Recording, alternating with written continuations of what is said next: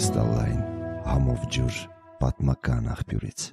Сегодня завершается председательство Республики Армении в ОДКБ. Этот период был весьма насыщенным. Мы отметили 30-летие подписания договора о коллективной безопасности и 20-летие создания ОДКБ. Вопреки юбилеям, настроение у нас, к сожалению, отнюдь не юбилейные – Течение двух последних лет страна, член УДКБ Армения, как минимум три раза подверглась агрессии со стороны Азербайджана – Удручает то, что членство Армении в ОДКБ не сдержало Азербайджан от агрессивных действий, и тем более, что фактически до сегодняшнего дня нам не удалось прийти к решению по поводу реакции ОДКБ на агрессию Азербайджана против Армении. Эти факты наносят огромный урон имиджу ОДКБ, как внутри нашей страны, так и за ее пределами. И я расцениваю это как главную неудачу председательства Армении в ОДКБ. То, то же самое могу сказать о фактах эскалации на границе между нашими союзниками Кыргызией и Таджикистаном. При этом должен отметить и наши успешные действия.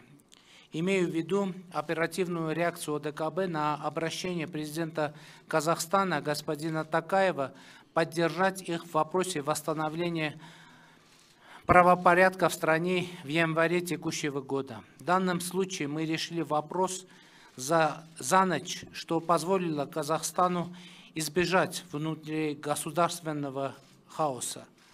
Пользуясь случаем, хочу поздравить Касым-Жамарта Акимелича Тукаева с преизбранием на пост президента Республики Казахстан. Друзья, повестка сегодняшнего заседания насыщенная. Надеюсь, нам удастся согласовать наши союзнические подходы и добиться слаженного коллективного взаимодействия по актуальным проблемам. Также отмечу, что Станислав Васильевич Зась завершает трехлетную деятельность в должности генсека УДКБ. Хочу поблагодарить его за проделанную добросовестную работу.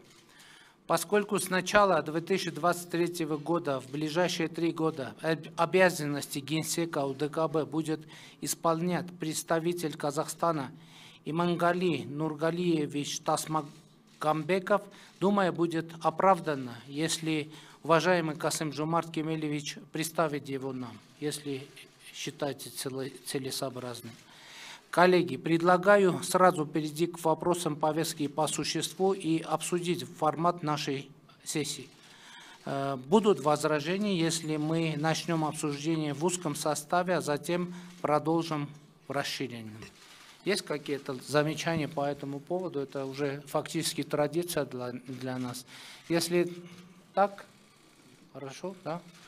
Попросим наших коллег-журналистов перейти в зал